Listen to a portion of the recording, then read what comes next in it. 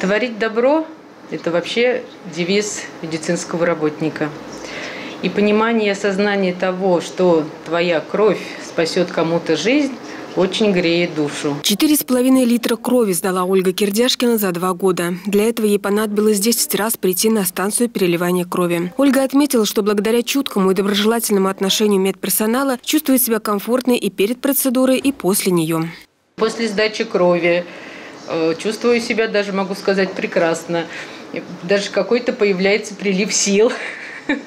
Видимо, в связи с обновлением крови. В среднем процедура сдачи крови занимает от 5 до 15 минут. За один раз у донора забирают примерно 450 миллилитров. В Сарове кровь сдают ежегодно около 600 человек. По словам заведующей станции переливания крови, этого количества вполне хватает, чтобы обеспечить запас для пациентов клинической больницы номер 50. В экстренных случаях кровь отправляют в соседние районы. Женщины могут сдать до 4 раз в год, а мужчины у нас до 5 раз в год. В среднем наши доноры сдают 3 раза в год, поэтому 600 человек помножьте на 3, это вот где-то 1800, э, да, ну, в принципе, около полутора тысяч а, донаций мы осуществляем. На фоне пандемии многие станции переливания крови в нашей стране отметили снижение визитов доноров. Это, в свою очередь, повлияло на запасы крови и ее компонентов. Красная кровь – это клетки эритроцитов, хранится всего 40 дней. Плазма – до трех лет в специальных холодильниках.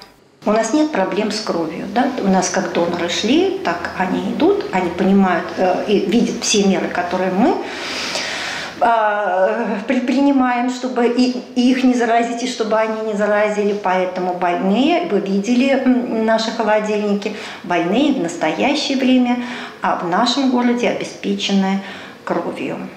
Человек, сдавший кровь 40 раз или пожертвовавший плазму 60 раз, считается почетным донором России. По данным Всемирной организации здравоохранения, люди, которые регулярно сдают кровь, живут дольше на 5 лет. Только люди а, имеющие душевное тепло, могут приходить к нам только люди с пониманием, что да, хорошо, что я жив и здоров, и у меня все хорошо, но я тоже должен поделиться с теми, кому сейчас плохо.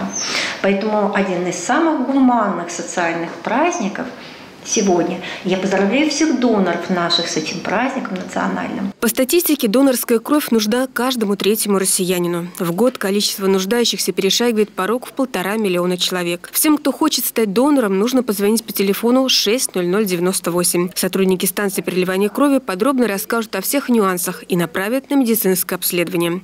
Елена Грицкова, Евгений Шевцова, Сергей Рябов. Служба новостей Саров 24.